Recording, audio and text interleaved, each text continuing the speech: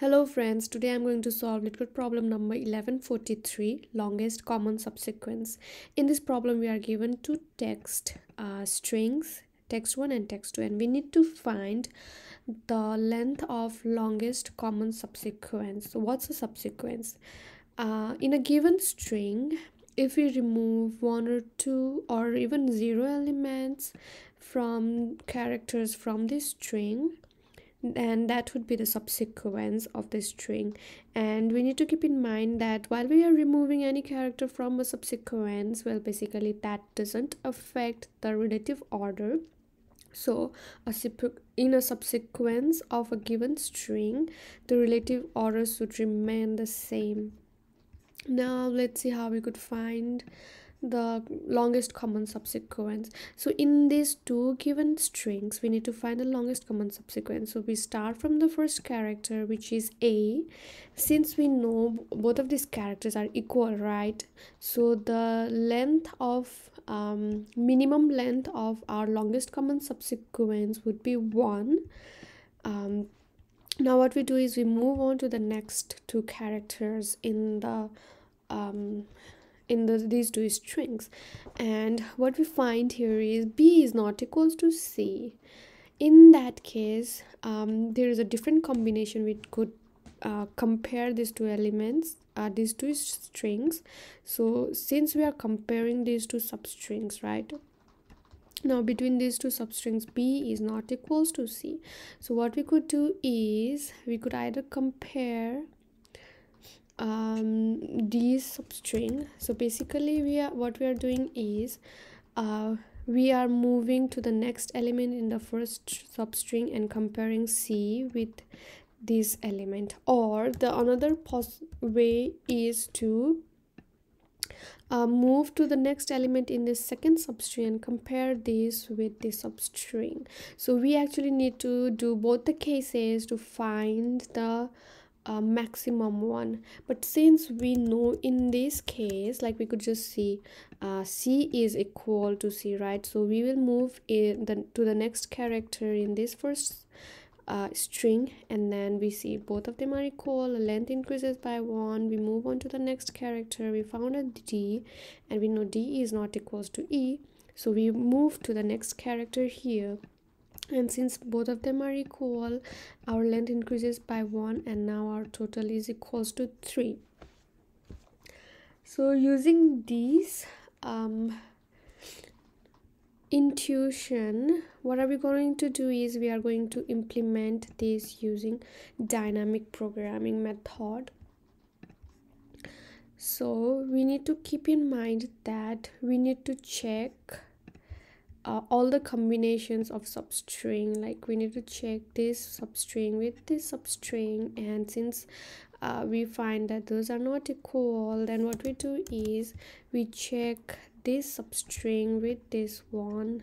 And also we need to check this substring with this as well. So we are checking all the substring all the combinations of this substring to find the longest common um, subsequence. Now let's see how we could solve it using dynamic programming. So in this problem uh, we are solving using dynamic programming. So i have created a table of size um, if n1 and n2 are the sizes of these two string then the size of the table is n1 plus 1 and n2 plus 1 because we have an extra row column and an extra row here because we need the base cases here as well. Now what we do is we start from the first character of the both string and we see that both of them are equal right? So what we do is we add the value of the previous diagonal element to our current uh, uh, add that diagonal element uh, 1 so our value increases by 1 now what we do next is we also compare a with b. Uh, why are we comparing a with b? You'll just know it in a while. So we compare a with b and we know a is not equals to b. So what we do is we take the maximum of uh, these two values here. So which is maximum? One is maximum right. So we get a value one and again a with c. So we compare it and we found that both of them are not equal. So we get a maximum of these two elements which is equals to 1 here. Again we compare a with d and then we get the maximum between 1 and 0 which is equals to 1 again a and e and we find the maximum 1 now what we do is we move to the next character in this sequence. And we compare with the first character of this one. So these two are not equal. So we get the maximum between these two values here. And the maximum value is equals to 1 again we compare b with c and then we get the maximum value between these two elements which is equals to 1 so now you see i guess uh, why are we using these base cases here? Because to find this value right? And in the next step here now comparing c with c both of them are equal right? So we take the diagonal element and then we add or to add a value 1 so the result becomes equals to 2 so why are we actually taking the diagonal element? If you would uh, look at this example here. So what we did is when we found both the characters were equal um, in our intuition uh, we moved to the next element in both the characters right? So a b c d and e. We have something like this and we have a c and e. So when we found that these two characters are equal we, we moved to compare c and b. And where does c and b lie? Right in the diagonal uh, point right? So that is why we are moving diagonally. And what about like the um in case where um it's not equal. So we are moving either left or right uh, i mean either to the right or down because we are comparing uh, this substring with this to find the longest subsequence and also that would be uh, in this position. And also we are comparing this substring with this to find the value this value here right that is what we did. Since b and c were not equal so we compared bc e with this substring and again we did the same with ce and cde as well right? So that is what we are doing. So we keep on moving and since uh, like I'll just fill in this because c is not equal and these two are also not equal. Okay we get the maximum here. We put the maximum value here and then again ae so the maximum is one it's one here and it's two here uh, 2 here and now e is equals to e right? So we get the maximum uh, diagonal element and add a 1 the value result is equals to 3 so the result is stored in the last cell of the of our dp now let's just dive into our code so what do we need is let n1 equals two uh, text one that length let n2 equals to text to that length. And then what we need is we need a dp equals to array of length n1 plus 1 and then for let i equals to 0 i is less than n1 plus 1 i plus plus what we do is we create a two-dimensional dp i equals to new array of length n2 plus 1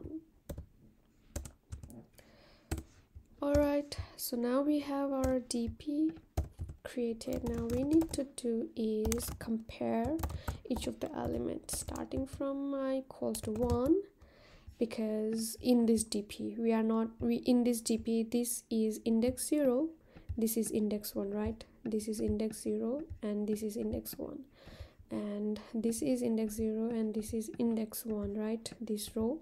So we we are starting from index 1 for both row and column because this we are filling with 0 so yeah we also need to fill the uh, dp with zero value and then i is less than or equals to n1 i plus plus for let i equals okay z equals to 1 j is less than equals to n2 j plus plus. And then what we do is if both the elements are equal text 1 i is equals to text 2 it's actually it's not i it's i minus 1 here. And j minus 1 if both elements are equal both the characters in this text are equal then we take the diagonal element in the dp right?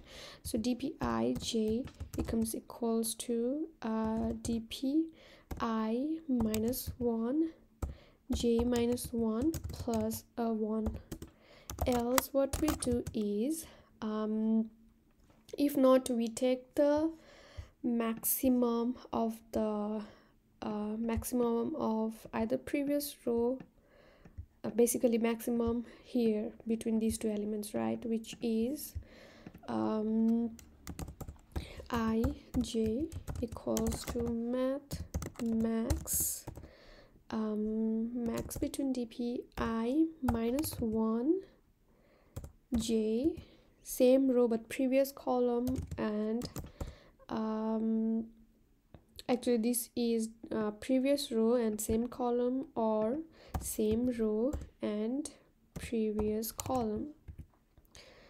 And we keep on doing this and then finally we return our dp at index n1 n2 which is the last cell